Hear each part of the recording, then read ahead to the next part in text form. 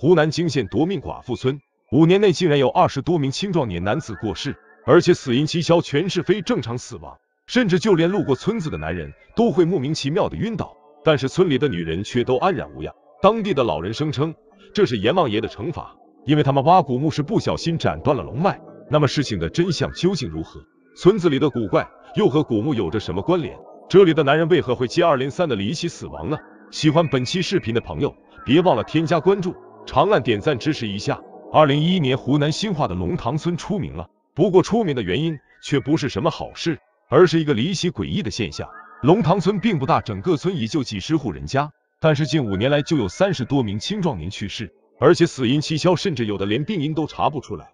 一个人死亡可以归结为意外，可这接二连三死的都是清一色的正值壮年的男子，女人们却都活得好好的，这就很难不让人多想了。于是龙塘村就有了夺命寡妇村的称号，而且最让人不可思议的是，不仅村里的男人深受其害，就连路过龙塘村的男人都会发生意外，不是莫名其妙的晕倒，就是突然鼻血直流，都险些丧命，最后只能仓皇逃走。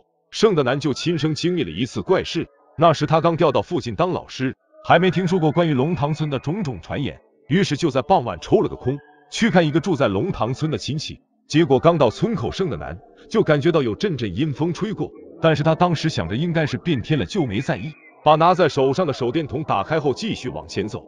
没想到刚走了几步，盛的南就感觉到有什么东西从鼻子里流出来，他用手一擦，再用手电筒一照，好家伙，竟是鲜红鲜红的血。盛的南顿了几秒后，突然感到一阵眩晕，然后就倒在地上不省人事了。等他再次醒来，已经是一个小时以后了。不过此时的盛的南。已经没有了走亲戚的心思，连手电筒都忘了拿，爬起来就拼了命的往家里跑。经过了这么惊心动魄的事，盛德南虽然感到身心俱疲，但是却一直睡不着。在熬到天亮后，就立即动身去医院。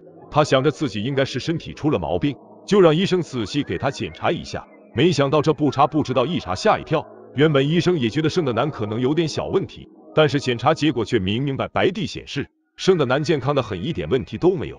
然而听到这个结论的盛德南，并没有立刻放下心，而是追问医生他为啥会晕倒，还把自己晕倒的前因后果都讲了出来。了解了事情的来龙去脉后，医生的表情顿时古怪了起来，称赞盛德南的胆子可真大，竟然连夺命寡妇村都敢闯。这番话听得盛德南莫名其妙，然后医生就给他科普了这夺命寡妇村的传言。医生的故事讲得绘声绘色，盛德南听了后直冒冷汗，但是他后来冷静下来一想。自己是个老师，可不信那些神神鬼鬼的传言。不过龙塘村的异象也确实引起了盛德南的关注。湖南泾县夺命寡妇村五年内离奇死亡三十位壮男，唯独妇女安然无恙。村里的老人们都说这是阎王爷的诅咒。他很想弄清楚村子里死人的真相，于是盛德南怀着忐忑的心情再次来到了龙塘村。这一次他进村非常顺利，但是村里的景象却让他感到诡异，因为他的视野所到之处几乎都是女人。不管是田间地头，还是村里的河边，都是三五成群的女人在劳作。自从盛德南进村以来，看到的男人屈指可数。盛德南就找了个村民聊了会儿天，终于了解到，原来当时自己晕倒的那处空地，就是村里人埋葬过世的人的地方。据村民解释，盛德南之所以在那晕倒，是因为有冤魂在拦路，不让外人进入。而且经过之前的几次意外，现在村里的男人只有十几个，所以在村里常见的都是女人。而当盛德南问到为啥村里的男人会离奇死亡时，一个老太太突然放低了声音，悄悄地说：“这是因为他们斩断了村里的龙脉。据说当年在建造邓家中学时，村民们在那块地底下挖出了一个古墓，这个古墓里倒是没出土什么值钱的东西，整个墓也不起眼，是用瓦片搭建的。不过上面画了不少奇奇怪怪的符文。但是当时谁也没把这事放在心上。谁曾想邓家中学刚建好几个月，就有一位老师死在了那里。”而且死的不明不白的，还查不出什么原因。后来就开始陆陆续续的死人了，大部分都是年纪轻轻就得了癌症不治身亡。所以很多村民都觉得这是和古墓脱不了干系，说不定就是因为挖古墓把龙脉给斩断了。对于老太太的说法，盛德南觉得有些夸张了，毕竟龙塘村就这么大点地方，咋可能还有所谓的龙脉呢？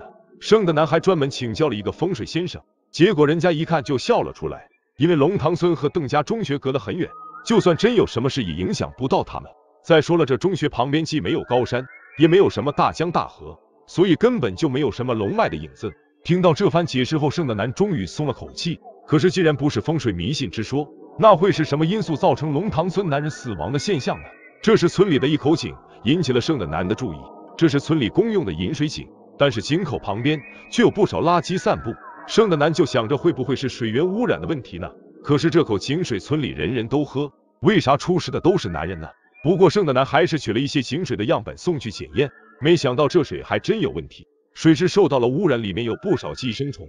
但是村里人喝水都是烧开了喝的，对身体没什么严重的危害。这下线索又断了。可既然不是环境和水源的问题，那会不会是什么遗传的疾病呢？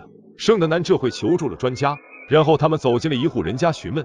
屋里的女人正擦拭着故去丈夫的遗像，她说自己的丈夫就是得了肝癌，不久前去世的。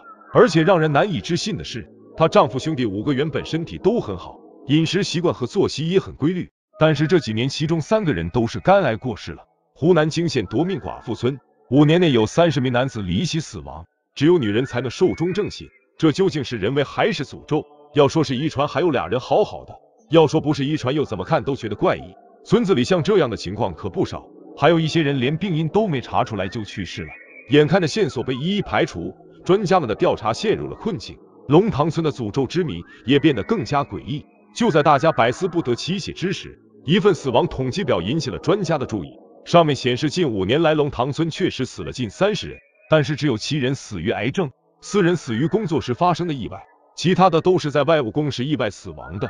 虽然数量上看是不少，但是每个人的死因都是正当的。而且之所以出现夺命寡妇村的传言，是因为死亡的这些人大部分是龙塘村二组的，所以才显得死亡量大，寡妇多。而当时正好有人提出可以借此宣传，提高村里的知名度，获得更大的帮扶。所以谣言越传越广，越传越邪乎。如今真相大白，都说谣言止于智者，希望大家不要轻易听信谣言，自己吓自己。大家对此有什么不同看法呢？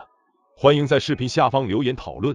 喜欢本期视频的朋友，别忘了长按点赞加关注，非常感谢大家的关注和支持。本期视频就到这里，我们下期再见。